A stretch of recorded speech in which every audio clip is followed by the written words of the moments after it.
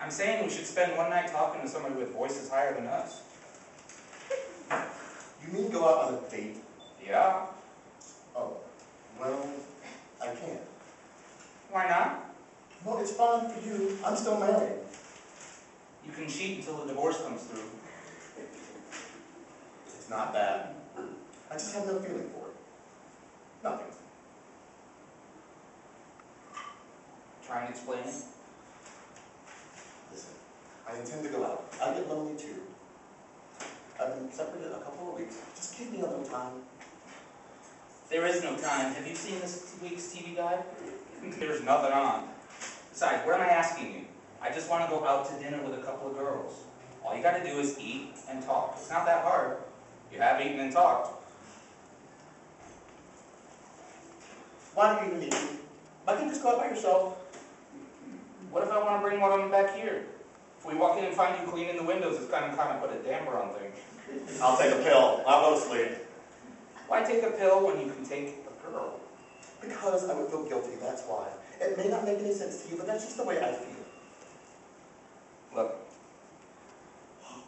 take her in the kitchen and make a blueberry pie for all I care. I'm just saying it's healthier than sitting up in your room writing Frances's name and all the crossword puzzles.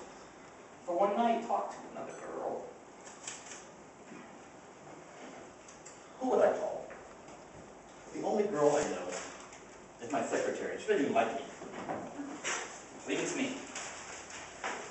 I have a couple of sisters that live in the building, English girls. One's a divorcee, one's a widow. They're a barrel of laughs. And how would you know? I was stuck in the elevator with them last week. I've been meaning to call them ever since. I wasn't sure which one to start with. Oh, this is perfect. What do they look like? Oh, don't worry, yours is pretty. I'm not worried. Which one's mine? Uh, the divorcee. Why do I get a divorcee? I don't care, you want the widow? No, I don't want the widow. I don't even want a divorcee. I'm just doing this for you. Look, when the sisters show up, just point to the one you like. It doesn't matter, I just want to go out and have some laughs. All right. All right. Don't say all right. I want you to promise me you're going to try and have a good time. It's important, Felix. Say, I promise. I promise. Again. I promise.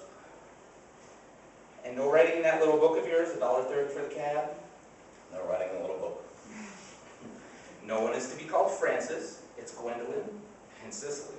No, Frances. No whining or groaning or moaning. I'll smile from 7 to 12. Okay, and this above all. No talk of the past, only the present.